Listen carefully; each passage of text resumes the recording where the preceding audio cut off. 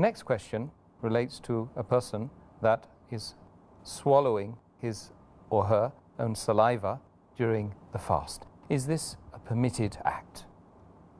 As far as swallowing the saliva is concerned, it is a normal act. It's a natural act.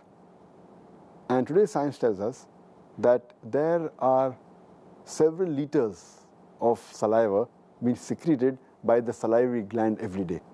And it is normal, it's natural that the saliva, a human being gulps it down, he swallows it, and this can't be avoided. And Allah says in the Quran, in Surah Baqarah, chapter number 2, verse number 185, when it tells you that you should fast for the full month of Ramadan, and those who are ill on a journey, they can make up the period later on. Then it says, Allah subhanahu wa ta'ala wants to make it easy for you and does not want to put you in a difficulty. Allah says in Surah Hajj chapter number 22, verse number 78, Allah subhanahu wa ta'ala does not want to give you hardship in your deen, in your religion. So, but natural sin swallowing saliva is a normal act. And I know that some people keep on frequently spitting out, and I have some of my friends who do that thinking it's haram to swallow, and they keep on spitting. And imagine if you have to do it the full day, you cannot even offer your salah properly.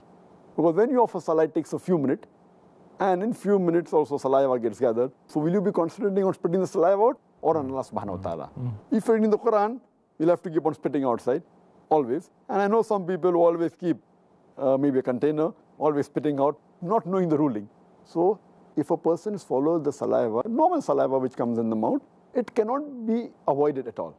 Same way a person when he breathes the dust, which, which a person goes to a city which is polluted, and there's dust particles, and you breathe that, and some of it goes in your lungs, or it goes. So it's all this is permissible because this is a normal day-to-day act, and these do not violate your fast at all.